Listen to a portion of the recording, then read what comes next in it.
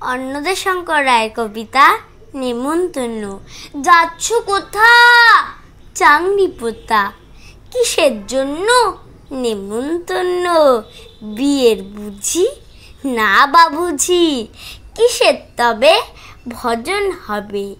শুধুই ভোজন, প্রসাদ ভোজন। কেমন প্রসাদ? যা খেতে স্বাদ। কি খেতে চাও? ছানার পোলাও। ইচ্ছে কি আর?